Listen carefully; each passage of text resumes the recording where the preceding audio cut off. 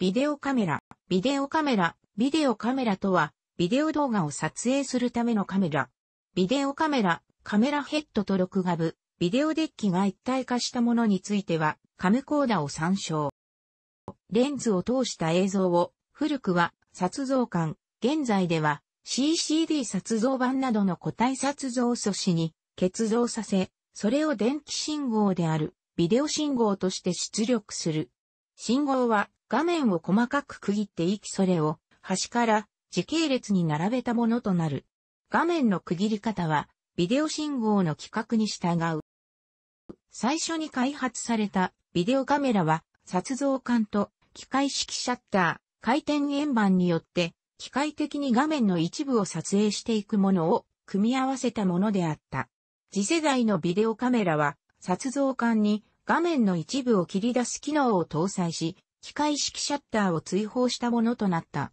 さらにその次世代は、撮像管を配して半導体による撮像板を採用している。ビデオカメラは様々な要素から分類することができる。ビデオカメラには用途に応じて様々なものが存在する。用途で大別すると以下のような分類ができる。放送用ビデオカメラは絶対の信頼性と高画質、機動性を追求したビデオカメラの最高位に位置する存在であり、妥協を許さない製品である。業務用、ビデオカメラは、ビデオパッケージ、カラオケ用画像撮影、結婚式や説明用ビデオの撮影、等など、コスト管理に、シビアな映像を高画質で撮影することを、主な目的としたカメラ。放送用に次ぐ高い画質と、ハードな使用に耐えうる、堅牢性が求められ、使用するにあたっては、ある程度以上の知識と操作の習熟が必要である。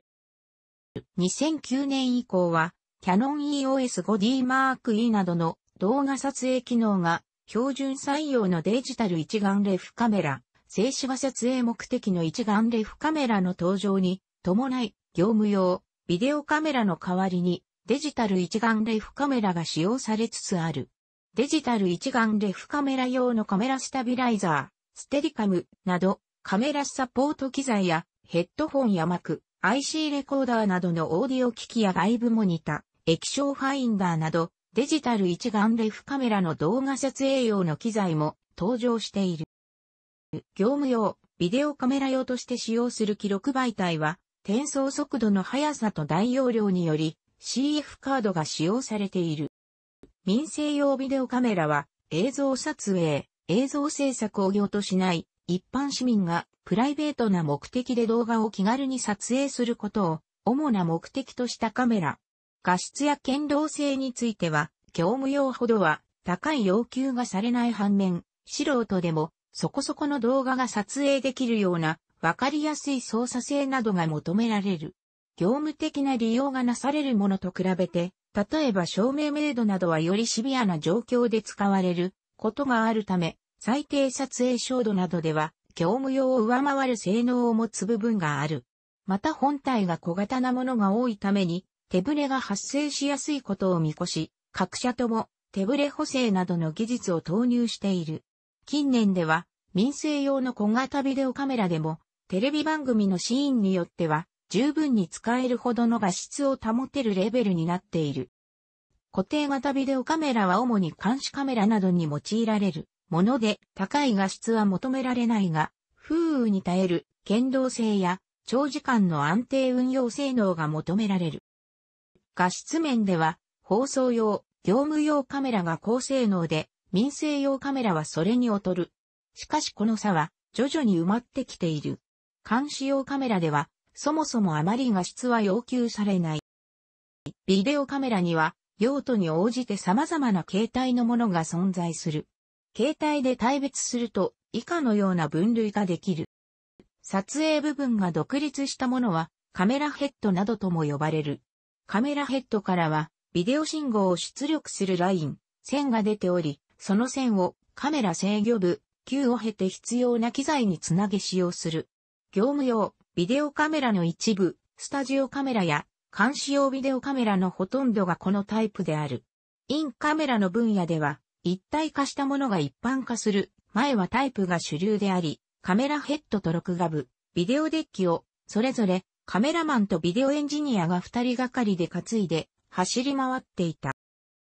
撮影部分と録画部分が一体化したものは、一体型、カムコーダなどとも呼ばれ、単体で使用する。レンズや撮像管、CCD から構成される撮影部と、信号を録画する、ビデオテープレコーダ、ハードディスクレコーダ、DVD レコーダなどの録画部が一体となっている。業務用、ビデオカメラの一部、インカメラと民生用カメラの大半がこのタイプある。業務用機においては、登場当初、単体のカメラヘッドよりは一体型の方が大きく、重いためカメラマンの負担重量が増えるとして不評だったが、カメラマンが単独で行動できる利便性が変わって主流となった。民生用では、もともとカメラと録画部、ビデオデッキを一人で抱えることが多かったため、一体型は歓迎され、速やかに主流となった。組み立て型はカメラヘッドと録画部は別のコンポーネントとなっているが、それを組み合わせて一体型として使うことが前提とされている。業務用、ビデオカメラの一部がこれに該当する。以前は、業務用、インカメラの大半がこのタイプであり、カメラヘッドと録画部を必要に応じて選択できることから、必要とするシステムを容易に組み立てられるというメリットがあった。また、カメラヘッド専業メーカーのカメラヘッドを採用する場合にはこのスタイルになるのが一般的だった。しかし録画部の形式が河川化したことなどから、組み立て式であることのメリットが薄れ、一体型にトレンドが移行した。カメラの大きさなどによっても分類が可能である。スタジオカメラは数十キロからレンズまで含めると数百キロに達する程度の重量級カメラであり、三脚に固定するか自由にカメラを上下させるためのガススプリングを内蔵したカメラペデタルに乗せて使う。テレビ局のスタジオやスポーツ中継などに使われるタイプのものであり、もっぱら業務用である。型乗せカメラも手持ちカメラもなかった頃、1976年以前は外からの中継であってもスタジオカメラが使われていた。運搬の際はカメラヘッドとレンズは分解した状態で、それぞれの専用ケースに詰めている。スタジオカメラヘッドの代わりに、ファインダー型の背カメラ、スタジオカメラレンズ取り付け用のアダプターを用いて、スタジオカメラ用レンズと組み合わせて使用する例もある。型の背カメラは、重量十数キロ程度までの比較的大型のポータブルカメラで肩に乗せて使用する。三脚や移動台に乗せて使うこともある。ある程度の重量があるためカメラブレしにくく安定した映像を撮影することができるが、軽くはないので一般人が気軽に撮影するといった用途には向かない。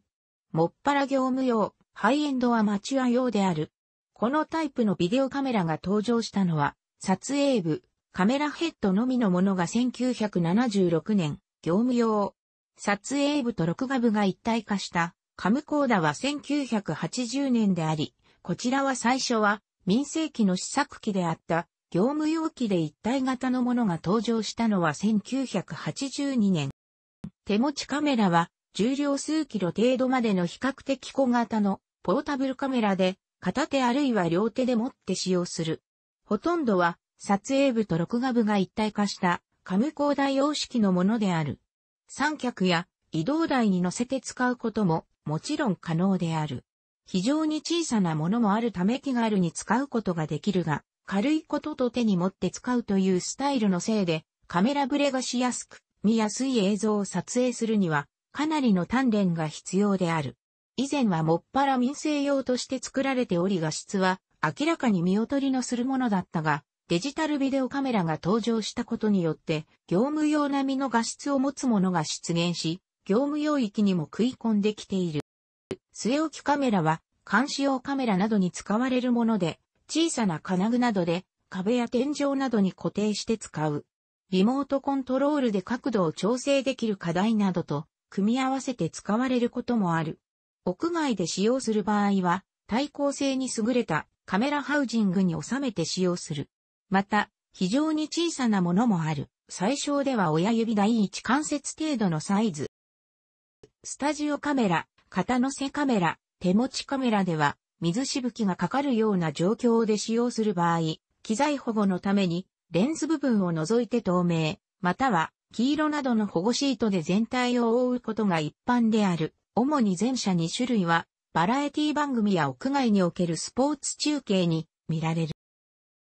機構によっても分類が可能である。三冠式、三番式カメラはダイクロイックミラー、特定の色のみを反射する特殊な鏡によって光の三原色である赤、青、緑色ごとに入射光を RGB3 分割し、それぞれの色に対応した撮像管、撮像板を用いるという機構のもの。撮像板としては CCD や CMOS の半導体撮像素子が使われる。3CCD、3CMOS などとも呼ばれる。単管式、単板式カメラは、撮像管や撮像板の前に、バイヤー配列等の色フィルターを設け、一本の撮像管ないしは一枚の撮像板でカラー映像を撮影する機構のもの。重量、サイズコストでは単管式、単板式が有利であるが、画質面では三管式、三番式が有利である。業務用、放送用ビデオカメラは、よほど特殊なもの以外は三管式、三番式である。民生機では、以前は三管式、三番式を採用したものは一部の高級機種に限られていたが、1990年代から民生機においても三番式が数多く登場し始め、その後はハイエンド民生機ではそれなりの勢力持つに至っている。なお、民生用として初の 3CCD 方式カメラ、ソニー CCD-VX1 が1992年9月に販売される以前に、輝度信号と色信号に分解した 2CCD 方式カメラ、ソニーエディ C-50、エディ W-75、松下 NVM1 万と RGB 信号を G、RB 原色色分解した 2CCD 方式カメラ、ミノル対 X-1、日日立 VMH1000 がリリースされ、現在も一部機種で採用されている。また、放送用として 4CCD 方式カメラというのが一時期存在していた池上 HK-477、HK477P、RGB 信号のうち G チャンネルの CCD を2枚用意して空間画素ずらしを行い、高画質、高解像度を狙ったデュアルグリーン方式と呼ばれるカメラ設計になっていたが、コストの割に画質効果が得られず、また GCH 精度ノイズ増加のため、間もなく消え去った。楽しくご覧になりましたら、購読と良いです。クリックしてください。